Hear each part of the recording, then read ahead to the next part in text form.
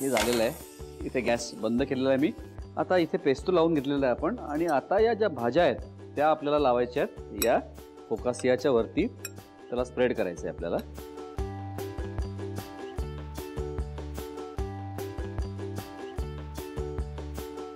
या भाज्या ज्या आहेत ना त्या तशा पण खायला खूप मस्त लागतात.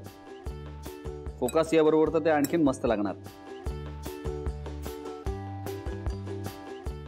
हे तर टाकलेलं आहे. आता काय करायचं आहे आपल्याला? आता मी एक काम करतो आहे याच्यावरती टाकणार आहे पनीरचे पीसेस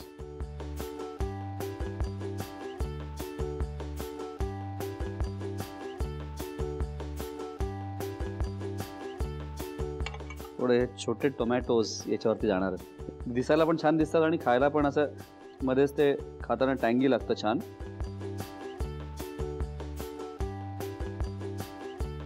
वा चला टोमॅटो ठेवून झालेले आहेत. आता काय करायचं आहे आपल्याला? आता ऑलिव्ज असतील ना आपल्याकडे तर ऑलिव्ज थोडेसे स्लायसेस कट करू आपण.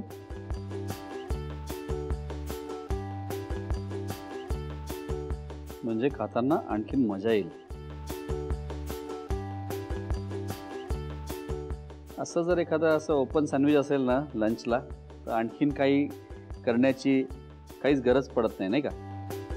हे झालेलं ऑलिव्ज याच्यावर टाकलेत. आता राहिलं आहे फक्त हे पिझ्झा चीज आहे.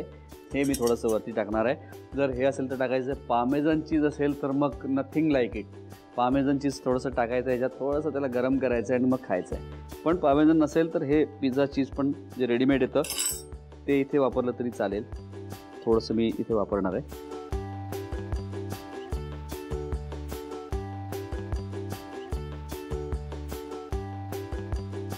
आणि तुम्हाला सांगतो खाताना ना हा बेझिल पेस्तोचा फ्लेवर आहे ना तो इतका मस्त लागतो ना.